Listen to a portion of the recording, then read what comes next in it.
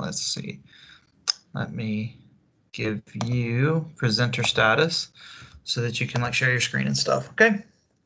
All right, so you should be a presenter now, so you can just begin whenever uh, whenever you're ready.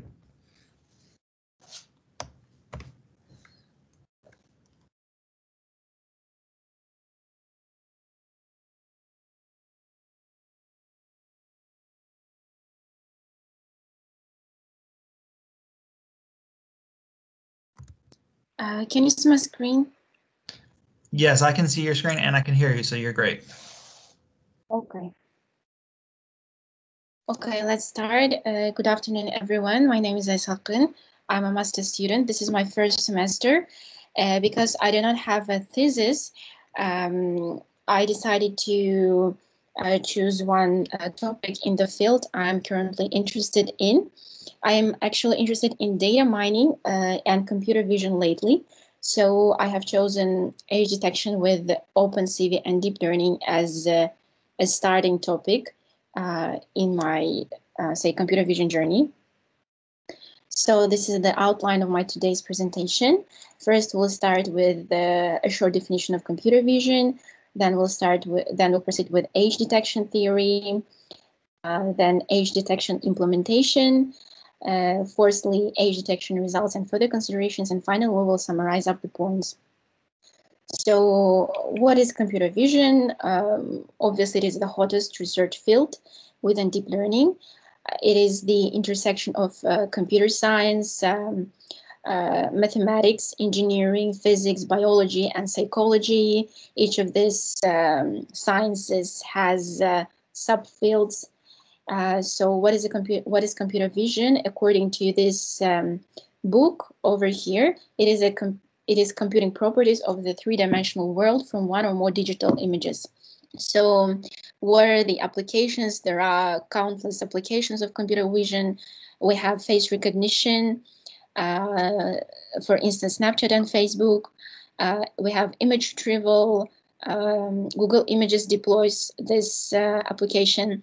We have gaming and controls. Um, mm, some of you may know Microsoft Kinect. Uh, there is surveillance, there is biometrics, uh, there are smart cars, and um, many other applications. Uh, let's proceed. Okay, so there are also several, uh, actually many computer vision tools and libraries deployed nowadays. So obviously we start with OpenCV. It is um, uh, an open source computer vision library uh, that contains many different functions for computer vision and machine learning. Uh, it is uh, sort of very old. old. Uh, then MATLAB. Um, MATLAB is uh, a numerical computing environment um, and it is deployed by researchers mostly then we have TensorFlow and PyTorch. Uh, these two are sort of uh, competing each other with PyTorch being a framework developed by Facebook AI research team and TensorFlow uh, being the product of Google Brain. Then we have uh, CUDA or CUDA, Compute Unified Device Architecture. Um, it is a parallel computing platform uh, which was created by NVIDIA then we'll have then we have um, SimpleCV. Uh, SimpleCV is um, um, I do not know it like uh, in detail, but it is very simple. Like you don't need to know coding to uh, to deploy this um, uh, framework. Then we have uh, YOLO, and many of us of you uh, know it for sure. then we have BoofCV. Uh, BoofCV is an open source library that is written specifically for real-time computer vision. Um, and um, it is uh, available for Java implementation. And uh, there are some other tools and libraries for computer vision. uh, let's uh, proceed. Uh, so uh, let's start with age detection theory. What is age detection? It is the process of automatically discerning the age of a person solely from a photo of their face. Uh, typically, um, age detection is implemented as a two-stage process. Firstly, we detect face, in the input image or video stream. And secondly, we extract the face ROI and apply the age detector algorithm to predict the age of the person. so for uh, stage one, uh, any face detector capable of producing bounding boxes for faces in an image can be used. Uh, so first we have Haar cascades, um, we have uh, Hog and linear SVM, we have SSDs, YOLO, uh, and faster R-CNNs. uh, so Haar cascades, uh, I will just explain this um, uh, detections very shortly. Uh, Haar cascades are very old.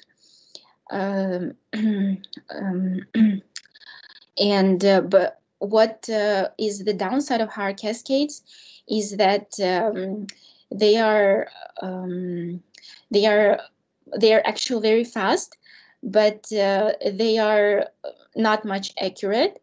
Uh, actually, here I have written uh, down the downsides of the of some of the uh, techniques, and also Haar cascades are highly prone to false positive detections.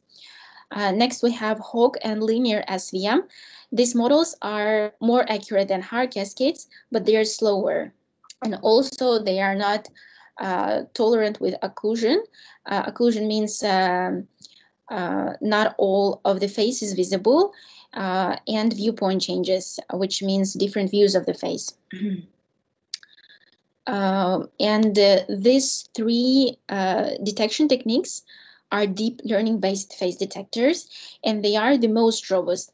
They will give us the best accuracy, but uh, but of course this implies that they will require more computational resources. so um, when um, deciding on uh, a face detector, we need to ask ourselves whether we need uh, speed or accuracy more.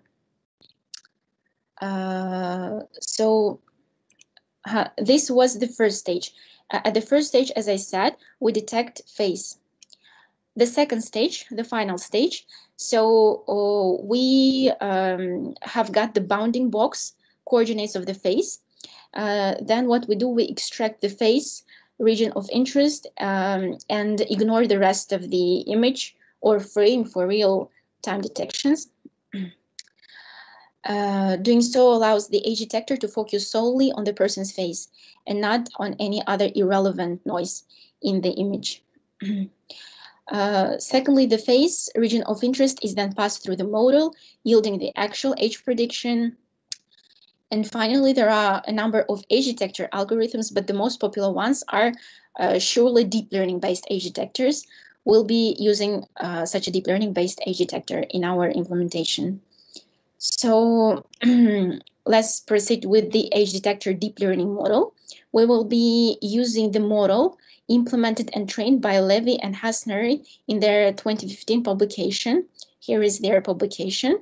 In this paper, uh, the authors propose a simplistic AlexNet-like architecture that learns a total of age uh, of eight age brackets over here.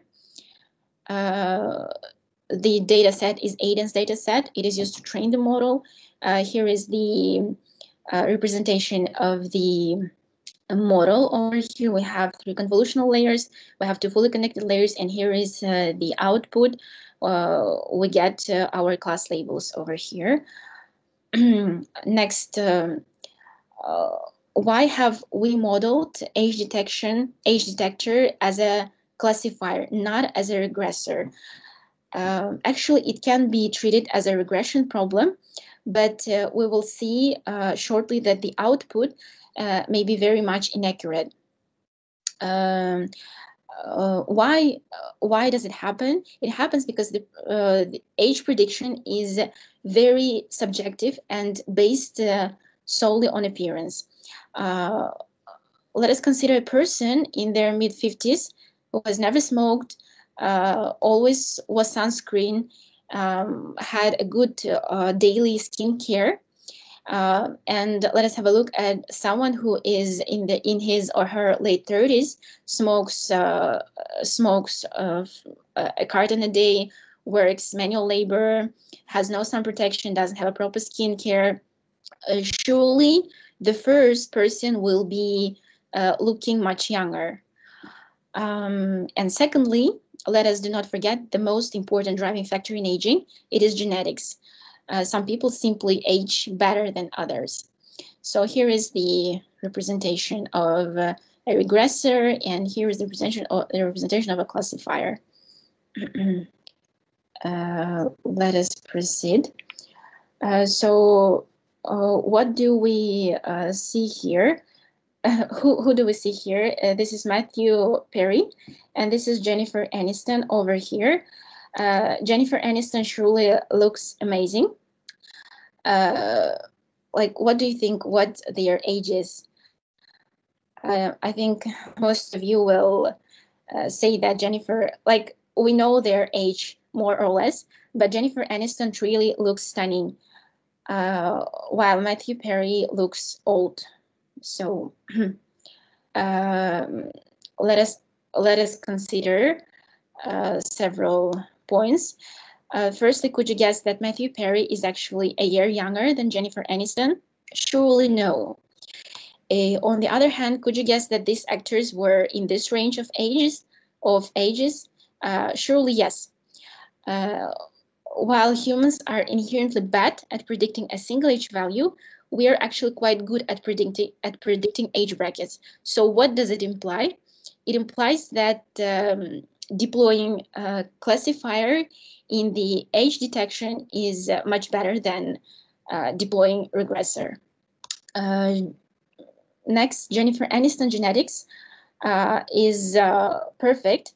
And of course, uh, if we assume that she had some plastic surgeon, she seems never to never age. Uh, the next point that we need to consider that if a human struggles to accurately predict the age of a person, then surely a machine will struggle as well. Um, and finally, as I've already said, when you start, once you start treating age prediction as a regression problem, it becomes significantly, significantly harder for a model to accurately predict a single value representing that person's image. so the, uh, that is for the age detection theory let's uh, continue with um, let's continue with project structure. Uh, this is my project structure. I have implemented it in Jupyter uh, using Python, OpenCV. So we have a face detector, we have an age predictor, we have some test images, and we have our code. So uh, I have decided to paste uh, some uh, code just for visual purposes. I will uh, quickly verbally explain what is going on here. Uh, so we import all the necessary packages over here. We import uh, ArgParse to parse command line arguments. Then we load our, um, uh, I'm sorry. Then we load our pre-trained models. Uh, we load both uh, age detector and face detector. Uh, so then we load our image and uh, detect uh, our face region of interest. Next, we loop over face ROI detections. Uh, and here uh, we finally perform our age detection. So next, let's look at the results of our code um, the boy, the boy's age is detected um, uh, very well. Uh, the boy is really between this, in this age is in this range. And uh, what about Samuel Jackson? Um, uh, do you know uh, this photo? This photo is his recent photo, and right now he's actually 71 years old. But surely he looks very young. So the detector detected uh, wrongly his age. so uh, what can we deduct from this then? Deduce from this then? Uh, firstly, the process of visual age prediction is difficult. It really is difficult. Uh, you cannot rely on the person's actual age. And finally, the most important thing, instead, you need to measure the accuracy between the predicted age and the perceived age, not the actual age. So this is important in your um, implementations of uh, uh, age detection.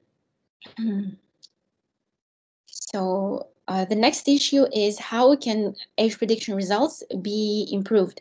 Here uh, is the confusion uh, matrix. Um, here we see that one of the biggest issues with age prediction model uh, trained by Levi and Hassner uh, is that it's heavily biased toward the age group of 25 to 32. it unfortunately means that our model may predict um, uh, this age group when in fact the actual age belongs to a different age bracket. so how do we, how can we overcome it? So we can gather additional training data uh, for the other age groups to help balance the data set. Secondly, we can apply class weighting to handle class imbalance. Uh, next, we can uh, be sort of more aggressive with data augmentation. Fourthly, we can implement additional regularization when training the model. Um, and finally, we can uh, improve the results by using face alignment. Face alignment uh, identifies the geometric structure of faces and then attempts to obtain a canonical alignment of the face based on translation scale and rotation, but it's a, separate topic. I'm not going uh, like uh, further into it. And so this is the summary of uh, my presentation. First, we saw some popular computer vision application areas and tools. Then we learned how to perform age detection with OpenCV and deep learning. Uh, so to do so, we utilized the pre-trained model, which allowed us to predict eight different age groups with reasonably high accuracy. However, we must recognize that age prediction is a challenging problem. We saw it uh, next, uh, there are a number of factors that determine how old a person visually appears, including his or her lifestyle, work, smoking habits, um, and most importantly, genetics. It is very important. And also, uh, we should keep in mind that people uh, purposely try to hide their age. And from this, we can deduce that if a human struggles to accurately predict someone's age, then surely a machine uh, learning model will, will struggle as well. Uh, so we must assess all age prediction results in terms of perceived age rather than actual age. So uh, that's it for my presentation. Um, I'm done. If you have any questions, um, you may ask. All right. Well, thank you very much, Aisalkyn. So I'll open it up for uh, any questions. Uh, you, it was interesting for you to talk about uh, uh Jennifer Aniston and Matthew Perry because uh, I can remember being uh, younger and my older sister watched that the show Friends. I didn't watch it, but I can remember they were very young back then. So, yeah it is interesting to see how the two of them have aged quite differently. Um, yes, but Jennifer Aniston is is a role model. Yeah. So, but I'll open up for questions if anyone else wants to uh, ask something before we move on. Actually, I want to ask a short question. Just a second. Can you hear me? Uh, yes, sure. Uh, actually, I, I'm curious about uh, what are the features I used to train the deep learning models for age detection.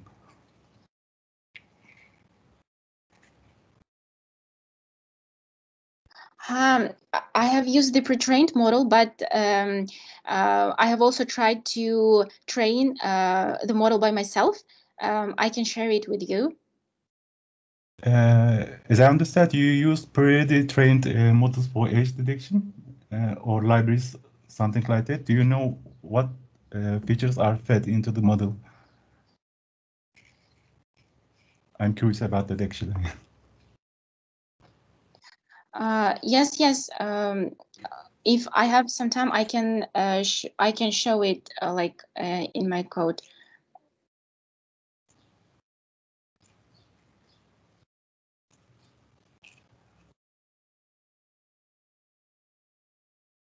Uh, can you give me uh, two minutes to access it? Okay. If you don't have time, uh, we can make it uh, after class or it's up to professor actually.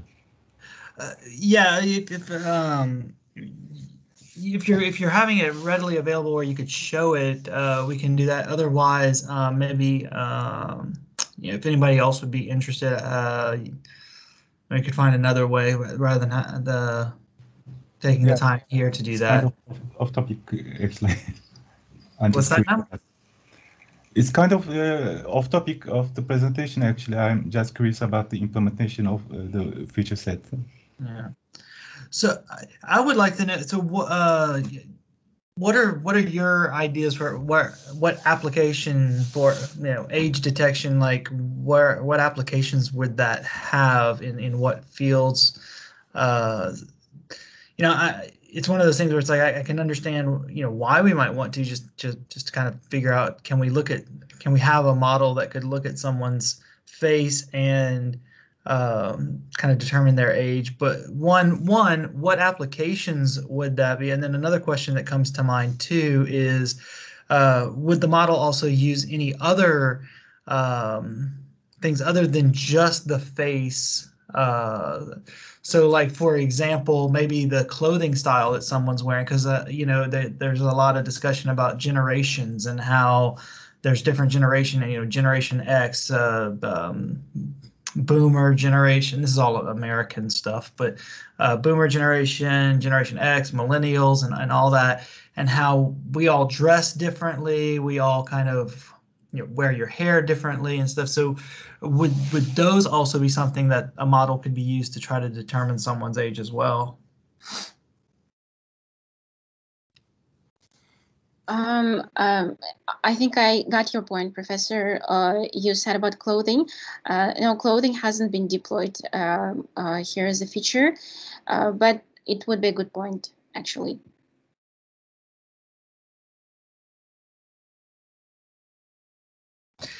And then my first question was, you know, what what areas of application would that be used? Because because I, I, know uh, facial recognition for the purpose of like accessing my phone, for example. My, my phone doesn't have that, but I know some people who do. The, the phone doesn't care how old I am for me to gain access to it. It just cares is it my face that it's looking at. Uh, what applications would there be for knowing someone's age? What what did you find in your research? Uh, Professor, actually, I haven't uh, thought about it, but it's a good point. Um, I definitely should look for where it is implemented. Um, well, maybe it can be uh, like it's just my um, assumptions. Age detection may be used um, maybe in hospitals, Mm. but I don't know if it is used at all like uh, maybe like uh, when in the market when there is uh, when there are lines maybe but it, i don't think it is used to either it is used either Mm-hmm. Cool. Thank you. Right. Can I add something uh, for this? Sure. Go ahead. Uh, so it can be used, for example, for some, uh, so that for some of the surveys they used cameras. For example, if we do have a street uh, with many different markets, so they try to use these cameras in order to check or to know uh, the ages or uh, of the people that are frequently, for for example, going to that market. It can be used for some surveys as well just to know, for example, uh, young people are uh, frequently going to this market and some other age uh, people are going to the other market. So it can be used also for this purpose. uh, yes thank you it's a good point yes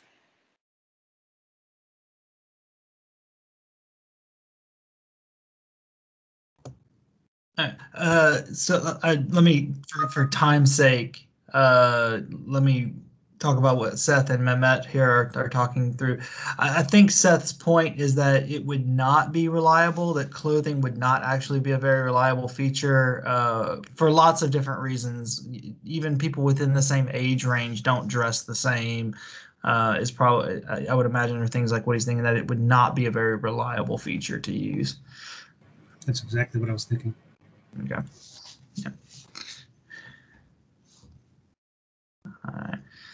Um, but me, you know, being somewhat older and also having parents that are even older than than I am, I think about you know old pictures of my dad from the 60s and 70s wearing these like leisure suits and stuff and and think about the style how style has changed and so that's what that's where my mind was going but uh, all right well if there aren't any other questions if there is please don't please let me know and stop me before i move on. But if there aren't any other questions then Muhammad Sanwal you can go ahead and prepare.